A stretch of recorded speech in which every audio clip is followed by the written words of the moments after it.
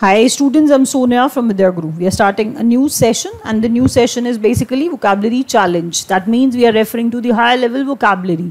The, the session on vocabulary, every session on vocabulary, rather I, I should say, that is going to help you in every sort of competitive exam because English is the common most section that's there in almost all the competitive exam. So vocabulary session, you know, you cannot understand what should be the, what is going to be the level of vocabulary in your exam. So words are really beneficial, really helpful. At times people who are not preparing for the exam, they watch videos and they say, ma'am, we are watching your, we, we generally watch your video because of this reason to enhance our vocabulary because that vocabulary is, you know, a kind of thing which is going to help you understand everything. Like if there's a passage, if something is written, you know, somewhere, you can understand if you are good at words, if your vocabulary is strong. So that's the pers perspective that vocabulary sessions are going to help you enhance your vocabulary. Let's start the session. If you like the session, press the like button, share the video with your friends and don't forget to subscribe to our channel. If you do that, you'll get the benefit of all the exam relevant videos. Challenge the word suggests you the story that the word, the level of the words that's going to be higher than other sessions. Let's start the session. It is 4, the number is 4, that's part 4 that means I've already uploaded three parts and I feel that you have already watched three of them. Let's start the first word that's ersatz. Ersatz means fake, that's artificial, that's substitute, that's synthetic, that's uh, imitation, that's something false. It is not real at all. That's what I'm trying to explain you. It is not real. That, that is why it is ersatz. Ersatz, that means it is not real, it is fake. I'm going to explain it with the examples because I feel that sentences are required. If you read any word contextually, that's going to be permanent in your head. You'll be able to retain the word for a longer period. I'm saying ersatz versions at a flea market, you can purchase ersatz versions of high-end products at a budget-friendly price. Let me tell you one thing. See what happens. Let's say there are a few things in the market. They are branded. They are very expensive and we are unable to buy them. We are saying small markets are there, flea, flea markets are there. We can go there. High-end high -end products are all available there as well. They are not the real products. They are actually the ersatz versions, fake versions of the those branded things. We can buy them at a very nominal and a budget-friendly price. That can happen. That is why I was telling you ersatz version of the high-end products. That means fake or artificial version of the high-end or branded products. So ersatz version, learn it like that. Mendicant, that's beggar. One who begs, one who begs, mendicant, beggar, one who begs. The mendicants begging on the side of the church road seem to be in miserable condition. We all see that if beggars are around us, we all see, we all observe that they are not in, you know, very sound state or a very healthy state. They all are generally they all remain in the miserable condition so it is not there's nothing new but i really want you to relate mendicants and uh, with begging only and write it down like that the mendicants begging on the street the mendicants begging on the street that's how you'll be able to relate the word. Somebody who's begging is a beggar. Somebody who's begging that's the beggar. That is why if you write mendicants begging on the street only this much part you should write because if you write mendicant and write down the meaning beggar you will not be able to retain it let me tell you very frankly. Write down the way i say that i'm saying write down the mendicants begging on the street. That means who's begging we all know if somebody is begging we call them beggars so mendicants begging that means beggars begging on the side atelier that's basically a workshop a studio where a person works and what sort of people I'm referring to. I'm referring to the artists, I'm referring to the designers. So the artist fell on hard times. The artist fell on hard times and was unable to afford even the rent of his atelier. Atelier, artist, atelier, artist, atelier, designer, atelier, artist. Relate the word atelier with artist because where the artists work, that's the workshop for them and the hard times are such that this poor fellow is unable to pay the rent of his workshop. Atelier, a workshop or studio, especially one used by an artist or designer. That's what I'm trying to tell you. Atelier is a workshop. Atelier is a workshop or a studio. So artist is not in the fine state. He's just facing the hard times and he's unable to pay the rent of his own workshop shop. That's atelier.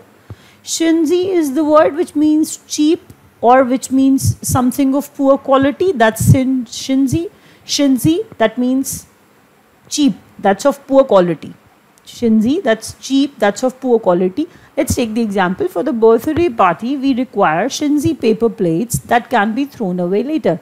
See, we do not wish to, you know, throw away the expensive paper plates, obviously. So we'll take the kind of stuff which can be used and which can be thrown away later on. So for the birthday party we are ordering, we really require something of that sort that can be thrown away. Use and throw sort of thing can happen here.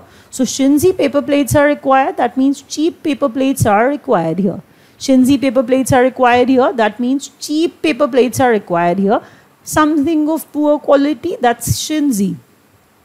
The next word and the pronunciation of the word is domain. S is not there in the pronunciation. When we actually pronounce the word, that becomes that becomes domain. Domain is a state. Domain is domain. Can you understand that? Domain is domain. Domain is domain. That is why land or uh, the area which is in your control, the area under your control, that's domain. Dom- domain, that's your domain. Domain your domain, domain, the area which is under your control. So domain is a state. As the manpower was cheap, it made a lot of sense in cultivating the domain. We want the tilling should happen. We want the tilling, cultivation should happen. Cultivation, agriculture we are referring to. Agriculture or tilling should happen at a place. Manpower was cheap that is why it made a lot of sense that is why we can actually get people and start the cultivation start the cultivation? Where to start the cultivation? In cultivating the domain. Domain can be cultivated. That means the area the land which is in your control should should be actually cultivated. There we can start the tilling process. That means domain cultivation can be started there. Domain is the word which means a state, domain or area which comes under your control. Eructation, eruct something, burp, that means you're taking out something. The belch sort of sound when your stomach is upset, this happens like it, it happens with almost everyone. Here we are taking the reference, it is B-E-L-C-H, I'll write it again for you. Guys, I'm saying B-E-L, belch, so at times we produce, you know, belching sort of sound. So that belch, that burp is basically eructation. Eructation. The sole problem that still troubled the old woman was frequent eructation at night. What happens at night? The old woman has the burping problem. She makes, you know, uh, such sort of sound that troubles her. She is, she still has the sole problem. The sole that the only problem is which actually is creating problem for the old woman, for the old lady, that she frequently burps. That means frequent eructation at night, burping at night. That's the problem with her. She she actually is troubled by this problem only. That's frequent eructation. That means frequent burps are there. She has the problem of burping often, making sounds from the mouth when the stomach is upset, full of gas. That's eructation. Burp Jejune is childish, uninteresting, naive, simplistic, uh, simplistic and uh, you can say superficial. And you can say something is dry, something is boring, something is uninteresting. So that is why if it is not interesting, it is uninteresting. That means, in other words, we can say it is boring. It is boring. Jejune can be boring. Jejune can be uh, naive as well. The publishing house was miffed, showed anger, miffed, anger, anger, miffed, anger at the writer because the readers found her prose jejune and lifeless. Writer is writing something that's the prose which was actually read by the readers and did the readers find it lifeless yes that's what we are trying to say that readers found it jejune readers found it lifeless readers found it uninteresting boring sort of that is why publishing house showed anger miffed at the writer. Did you understand that? Jejune is uninteresting. Jejune is uninteresting. That is why the publishing house miffed at the writer, showed anger because her prose was jejune. Now, the next word is paramour. Paramour, that means lover. Paramour, that means lover. That's uh, that lover is not legal sort of lover, like you are in love with somebody. Extramarital sort of affairs happen, and when you talk about such things, that means it has some illicit sort of feeling. Illicit is illegal. That, that we all know. The basic word, uh, you know, that's very basic. Illicit is illegal. Paramour, that means lover. That means illegal lover the similar word can be mistress. It is a good word which actually replaces, which can actually has the potential to replace the word. So mistress. Mistress, that's lover, that's paramour. Let's look at the example. To avoid getting discovered, the wealthy real estate broker asked his paramour to stay at a hotel on the outskirts of the city. So the rich, wealthy, rich real estate broker hiding somewhere doesn't want that anybody should actually you know should be in a position to discover him to find him out where he's hiding actually so he asks his mistress to stay at a hotel not in the city but uh, but on the outskirts of the city. So paramour lover but illicit lover. Tocsin is warning. When some danger is there you get the warning. So that tocsin is warning. An alarm bell or signal which is actually provided that's tocsin. Tocsin is warning.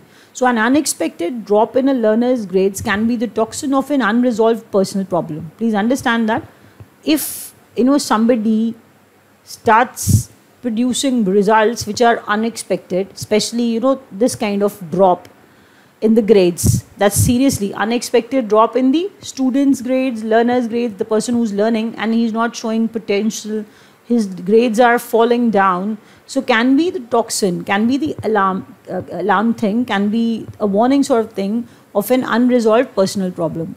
This learner has unresolved personal problem and it is the sign, it is the warning that his grades are actually falling. So un, that is why I was telling you tocsin is warning where an alarm bell or signal is given. So tocsin is warning or an alarm, an alarm bell or signal. You can actually relate it like that internecine, that's destructive, that's ruinous, that's deadly, that's bloody, that's violent,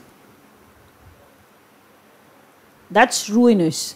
Something which ruins actually, something which ruins actually, which destroys, which is violent, which is bloody, that's internecine, destructive. Let's look at the example. That's how you'll be able to learn it. The internecine conflict between American terrorist forces has completely ruined the economy of Afghanistan. The conflict is there between American terrorist forces. We all know that. That internecine conflict isn't going to be, you know, an all right sort of conflict that we can actually tolerate, but it says it is not an all right sort of conflict. It is internecine sort of conflict where the destruction, where the violence is going to be there in that fight, in that conflict, internecine conflict, which is going to ruin everything. So that is why it says that economy of Afghanistan will be ruined because of this internecine fight, because of this internecine conflict between America and America and terrorist forces. So internecine is destructive, ruinous. Let's start the revision immediately be very, very curious because you have to keep all the words in your mind. Ersatz, that's fake. Ersatz, that's fake. Ersatz versions of high-end products, that means fake version of high-end products. Mendicant, begging on the street, that means beggars were begging on the street. Atelier of artist, that means workshop of the artist. Chintzy products, that means chintzy products, that means cheap, poor quality products. Domain domain which is in your control. Domain domain which is in your control. That's estate that's land. Eructation was the problem of that old lady. That means burp was the problem. Belch was the problem. Jejune and lifeless prose of the writer Jejune and lifeless will give you the understanding lifeless and Jejune, both words are actually uh, some sort of uh, substitutes for each other, both the words. I'm referring to Jejune and lifeless. If you actually relate these words, if you write these words together, you'll be able to keep the word in your mind. Jejune and lifeless prose of the writer, that means lifeless, that is uninteresting, that's boring. Paramour, I said lover, but not legal sort of lo- lover. That's illicit lover. That's paramour. Tocsin was the warning of an unresolved personal problem. Alarm bell, signal, which was actually provided. Internecine, that's destructive. Internecine, conflict, that means destructive conflict. It is not going to be peaceful. We are saying it is destructive. So that's internecine. We are wrapping it up. Thank you so much.